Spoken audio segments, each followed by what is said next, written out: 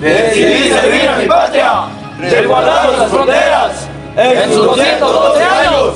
desde el regimiento de artillería aérea 8, este coronel Aguirre, saludo y felicito a mi glorioso ejército de